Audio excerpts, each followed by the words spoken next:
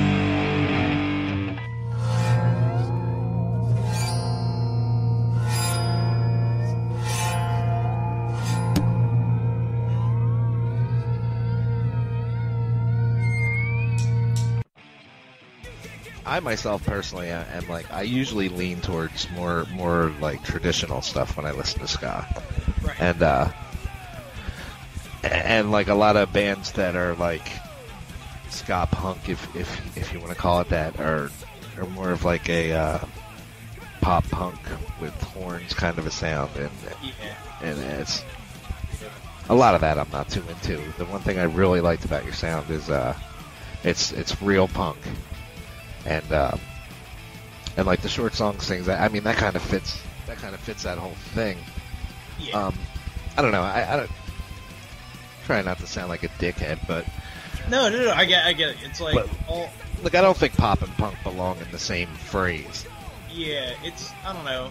Like I'm into some like third wave ska stuff, but when you, when it gets too poppy, like I can't get into Reel Big Fish anymore. Like that kind of real like poppy stuff. It's just like pop music with horns, and it's not. It's too far away from the roots, and I just can't get into it that much. Who are some of who who are some of your influences, either like as a band or individually, or um, like you mentioned you were you were going to be a Misfits cover band, but but uh, you know I don't know. For me, I, I always go back at, to the Bosstones just because I know I don't. We don't really sound like them, but I think just subject matter and the way they talk and the way they put themselves out there. That's one of the big ones for me. And and again with the Misfits, it's always like I, I have the weird obsession with horror movie stuff too, so that kind of comes out. I remember seeing you guys back at uh, oh, I'm trying to think of what show it was. It was at the Fire. It was Yes, the it was Fire, the, the uh, Taj Motel Trio show. Yeah, yeah, yeah. yeah. that's right. That was Um, the day where we got our first beers as a band. Our Nice. first free free Yes. beers from the from the venue. Wait, don't they have like a what is it like one beer or like two beers? Yeah. Like, no, they they give you tickets. They give you a ticket that you can redeem for a certain beer. Only only certain types. and it's and it's just one beer, or was it like were you drinking like No, no, it was one. It was one beer. you get you get one ticket, Yeah. one beer. so no. gracious of them? Very excited. I I think you guys were one of the first bands that went on, We were first. Yeah, I think we played very first. There Yeah. was like and and yeah, there was like four people. people, yeah. Because we actually didn't want to play right away because nobody was showing up yet. Yeah, Yeah. just in a stall. Yeah, we were ducking the guy from. Yeah. I mean, I guess there was like a total of maybe 30, 40 people that uh, came through throughout the night. Uh, do you guys do you guys run into that? Like I noticed that a lot with like local shows. It's it's almost depressing that uh, Yeah. you know, yeah. especially when you're getting into like, especially in like the ska scene because no, nobody cares. It seems like you know what I mean, and, and the people that do. I mean, I don't, I don't know, I don't know how old you guys are, but I remember like in the '90s, like, um, you know, back when the Bosstones were blowing up and stuff. Like when the Bosstones would come through, like they would bring like a hardcore band on tour with them, and Yeah. and like kind of the different scenes kind of merged and fit together better. And, and like i notice like nowadays kind of it shit's a little more like separated and Yeah. you know th- th- these people come to see their band and then they all go home when their band is done and and stuff like that. I noticed that you guys like hung out the whole night and checked out all the bands. I thought that was cool. I also thought it was very cool matt that you um you had like a good sense of humor about uh playing for three people and that kind yeah, of made, well, that I mean, kind of made me really dig this Yeah. shit really I dig your I've been to shows before where people completely just blow it up and pretend like it isn't happening, and that's just ridiculous because you're not going to make like a shitty situation be any better where it's like, all right, there's six people here, but I might as well the six of them and the four of us might as well have a good time. Yeah. Right. Now the now the standout song for me that night when you played that like the whole thing that turned me on to you guys was uh it, it's still my, my favorite one too even even on the album like with with it re-recorded as Daily Grind. I don't, there's something about that song that uh Everybody's favorite. Yeah. We're happy with that one. I mean, that's that's one of the songs that's been around for like four Yeah, or five years now. That's The first the first song we ever did was Young Punks, and then Daily Grind, and it was within a week or Yeah. two ago. So those songs are like four years old.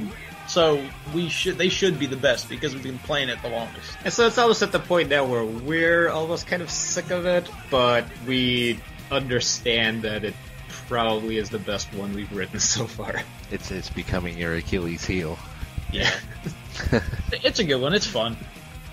Yeah, I definitely I definitely enjoyed it.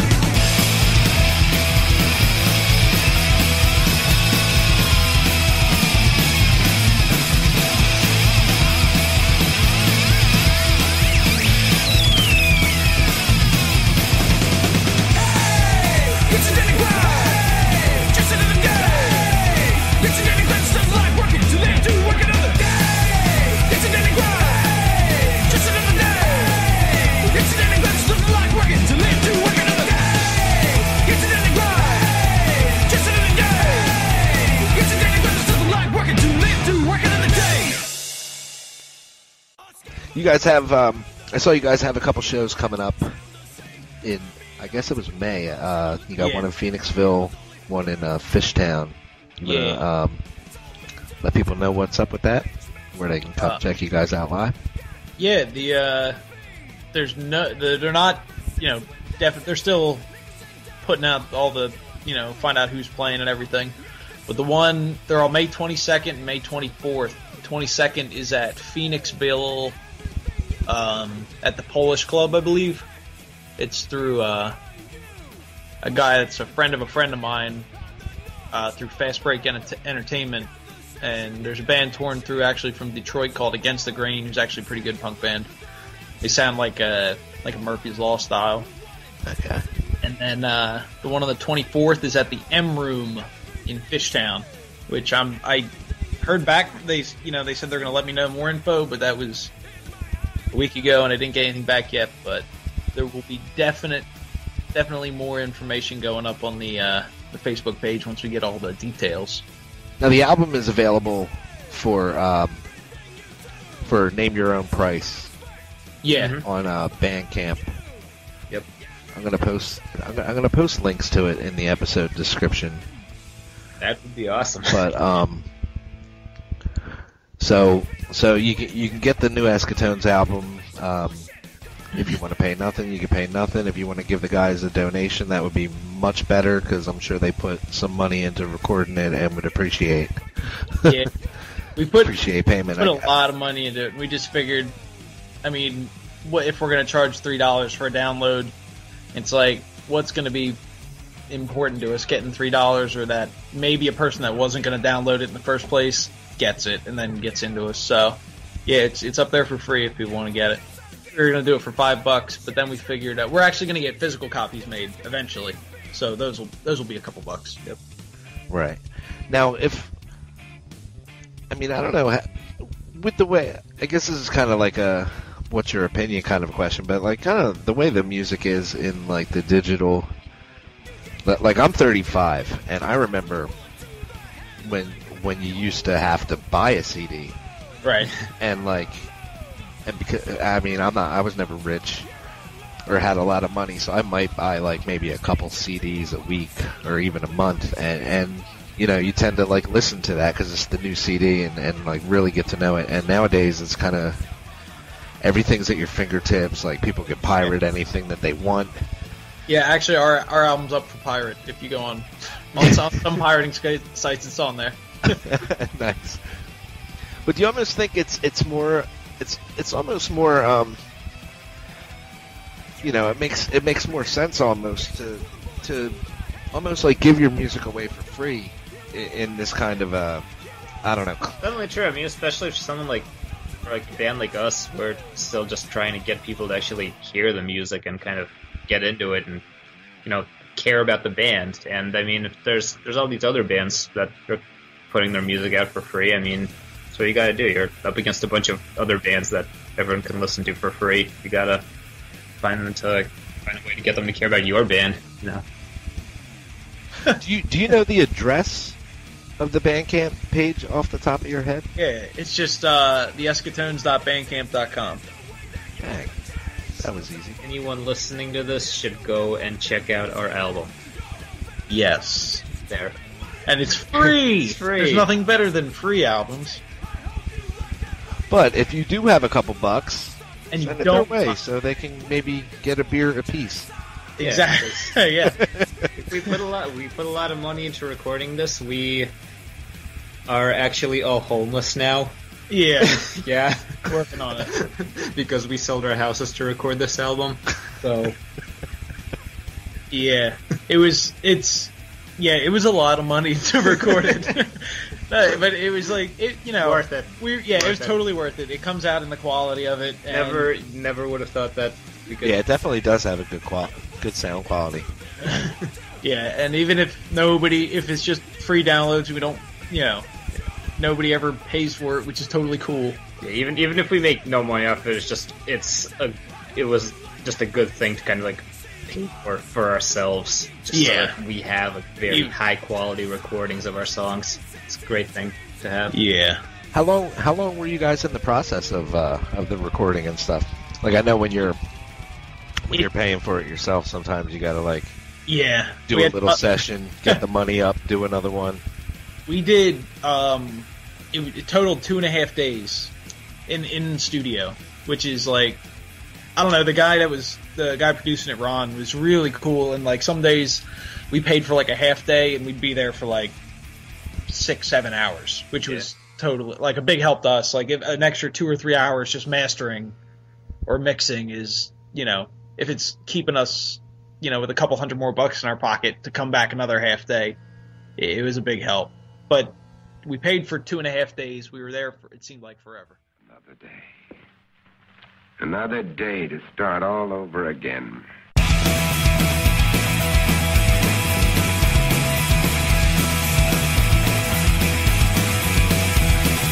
I'm waking up, I'm checking out another selfish thought, but I shake it off. What the fuck?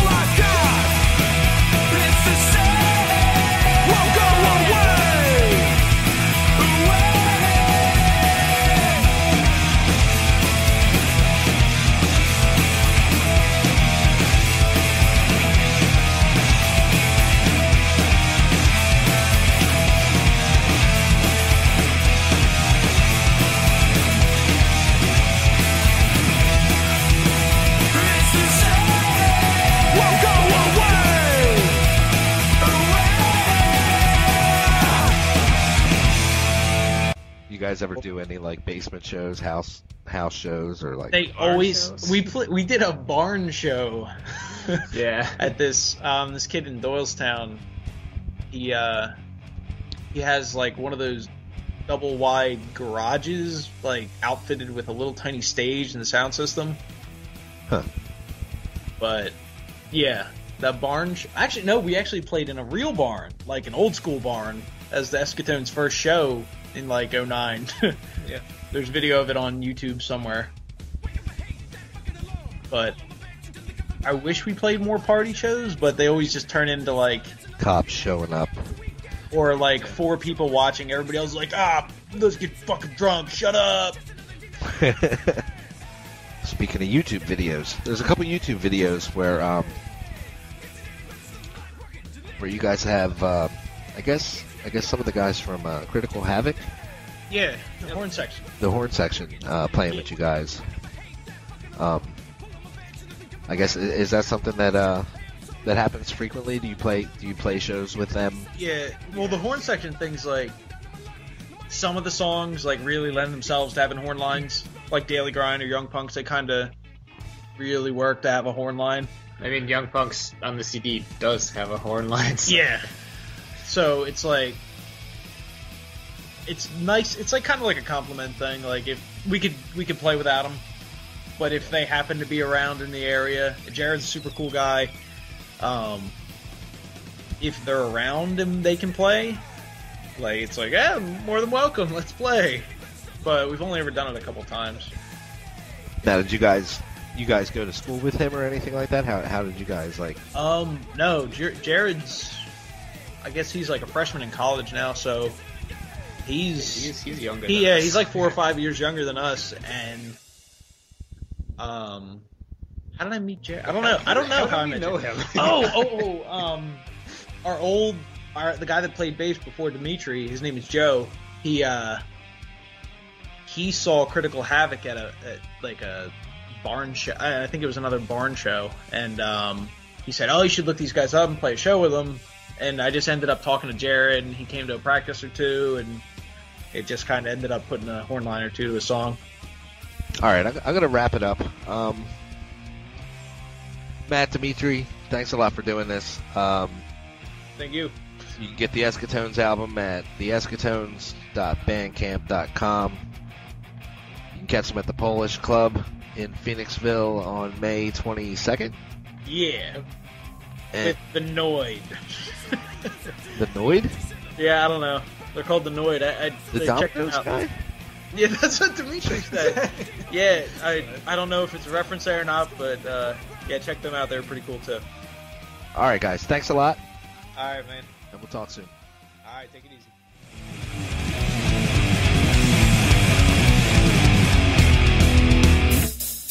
One sick conclusion to it all. Fucking sinners, they are all. Watch 'em